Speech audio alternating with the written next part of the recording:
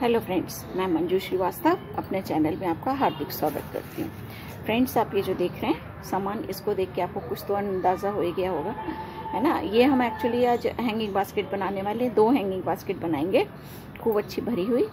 और ये देखिए, एक तो ये सिंगोनियम की बनाएँगे, सिंगोनियम या एरोहेड बोलते हैं इस प्लांट को, है ना? और दूसरा हमारे पास ये फॉर्न है, बहुत सुंदर। और इसको बोलते हैं हिमालयन मेडन हेयर फर्न है ना, इसकी पत्तियाँ बहुत बारीक बारीक होती हैं। ये लाई थी मैं नर्सरी से काफ़ी पहले। देखिए, बहुत सुंदर है वो बारीक बारीक और इसको लाई थी मैं तो शायद इसको मैंने डेढ़ सौ रुपये का दे के लिया था।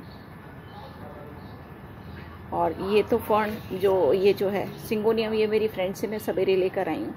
मेरे घर पर जो था, वो दो तीन पत्ती वाला छोटा ही था। तो काफ़ी सारा चाहिए था तो उसने कहा कि मेरा निकाल के ले जाओ। तो ये उससे लिया मैंने, ठीक है? तो आज इनकी बनाते हैं।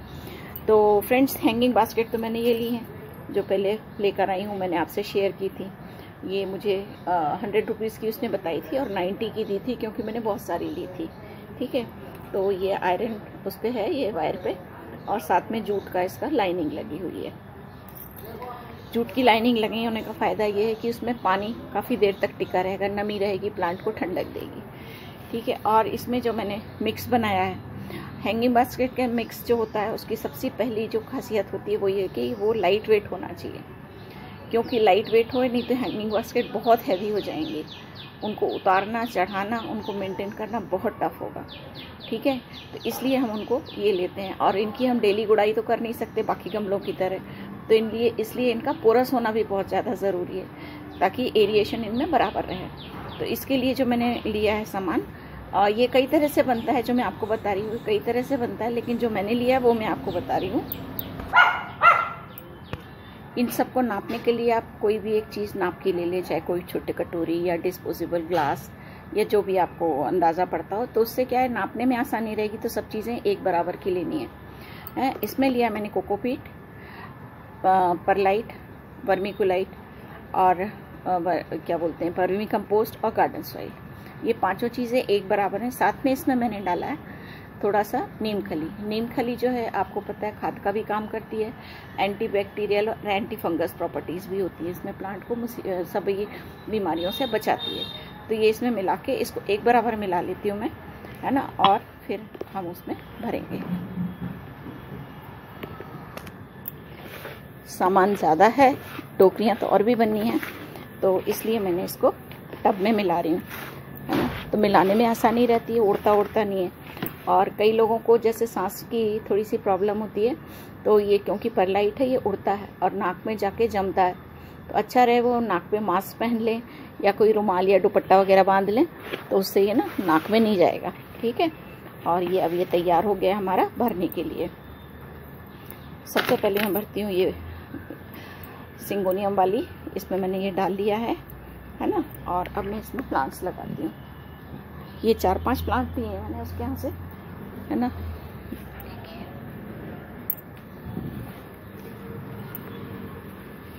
ये हटा ही देती हूँ, इसमें कुछ है नहीं।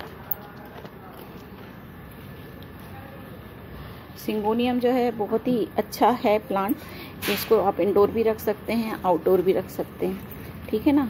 और ये है कि इसकी ज़्यादा मेंटेनेंस नहीं है, ये अपने आप ही चलता रहता है। तो हैंगिंग बास्केट में आपको प्लांट्स ऐसे चाहिए होते हैं कि जो ज़्यादा जिनकी मेंटेनेंस नहीं हो, है ना, क्योंकि रोज़ रोज़ ऊपर चढ़ना और फिर उनको उतार के उनको मेंटेन करना ये हो नहीं पाता किसी से भी।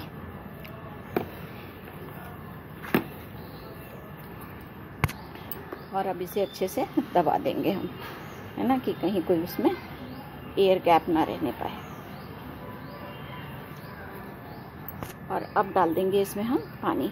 ठीक है, आपने देखा ऊपर से थोड़ा सा गैप मैंने छोड़ा हुआ है। वो इसीलिए कि हम पानी वानी डालें तो ये वो मतलब उचट के बाहर ना आए निकल के, है ना?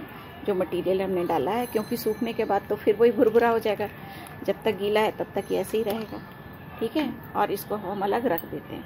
दूसरी बात मुझे ये कहना थी कि इनमें से अगर कोई चीज़ आपके पास नहीं है, ठीक है?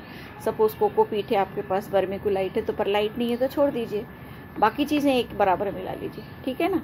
तो भी आपका मटेरियल बिल्कुल सही बनेगा, उसमें कुछ दिक्कत नहीं है। ठीक है, अब हम इसको पानी निकलने के लिए अलग रख देते और हम लेते हैं दूसरी टोकरी, ठीक है? तो इसके लिए पहले इस फर्न को निकालें इसमें से हम। इसको किसी भी प्लांट को निकालने के लिए अच्छा रहता है कि आप उसमें एक दिन पानी ना दें। उससे क्या होता है कि सारा मिट्टी जो होती है केक की तरह जम जाती है। अब इसको हाथ में ऐसे लगा के ऊँची चीज़ पे किसी से भी थोड़ा सा टक करेंगे तो वो निकल जाता है। ये देखिए, इतनी आसानी से निकल गया, है ना? और अब हम इसकी थोड़ी सी मिट्टी हटा लेते हैं, क्योंकि ये तो हमको रखनी नहीं है ये वाली मिट्टी तो। ये लाई थी ना मैं तो बहुत छोटा सा था, और मैंने वो टोकरी जो दे रही थी वो बहुत कॉस्टली दिख रही थी इनकी। बड़े गमलों में लगा हुआ था। मैंने कभी ये छोटे ही दे दो, हम तो बड़ा कर लेंगे उसको। गार्डनर्स के पास ना दो तीन चीज़ों की हमेशा प्रॉब्लम होती है। पॉट्स नहीं होते हैं, पैसों की समस्या होती है, क्योंकि जहाँ प्लांट्स देखे और फिर होता है, ये वाला तो है ही नहीं। तो ये लेना बड़ा ज़रूरी है। फिर ये होता है कि कम पैसों में दो प्लांट मिल गया, ये भी एक रहता है थोड़ा सा ठीक है? तो ये इसको हमने बीच बीच का निकाल दिया है।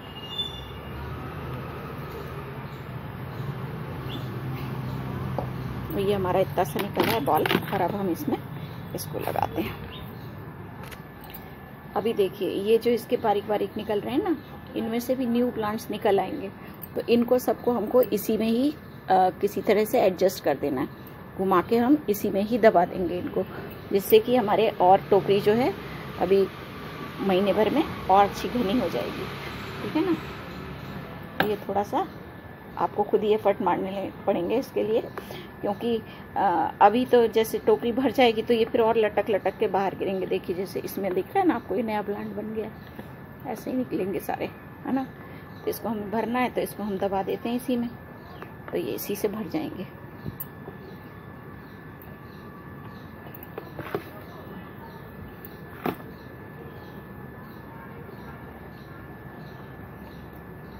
तो ये भी हमारी भर के तैयार हो गई है।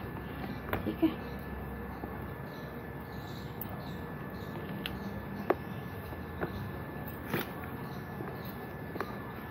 भरते टाइम बस यही रखना चाहिए कि कहीं से भी ना एयर गैप ना रहे, क्योंकि एयर गैप अगर रह जाता है ना, उससे क्या होता है कि एयर उसमें लगती है, जड़ों में रूट्स में लगती है ना तो प्लांट सूखने लगता है।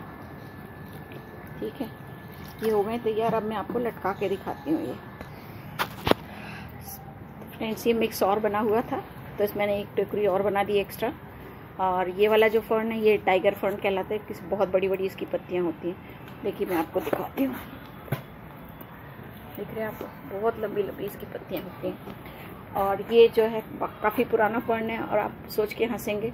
हम जब देहरादून जा रहे थे तो ये मैंने सड़क पे से पहाड़ों के बीच बीच में उगा हुआ था, वहाँ से उखाड़ के लाई थी मैं इसको। और अब तो बहुत सारा हो गया तो फ्रेंड्स ये देखिए आप टोकरियाँ कितनी हल्की हैं, मैं आपको उठा के दिखाती हूँ।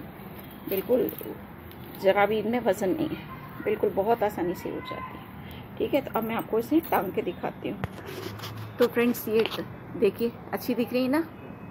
आप, क्या है कि अभी इन, मैंने, अभी मैंने शेड डाला ही हुआ है। अगर आपके यहाँ शेड नहीं भी डाला तो भी अभी कुछ दिन पाँच छः दिन इन्हें शेड में रखिएगा। उसके बाद इन्हें आपको जहाँ टांगना, वहाँ टांग सकते हैं। आई होप मेरा वीडियो आपको पसंद आया होगा। प्लीज़ इसे लाइक कीजिए शेयर कीजिए। अगर मेरे चैनल पर न्यू है तो इसे सब्सक्राइब कीजिए। अगले वीडियो में इसी तरह की नई जानकारी लेकर फिर आती हूँ। तब तक के लिए बताएँ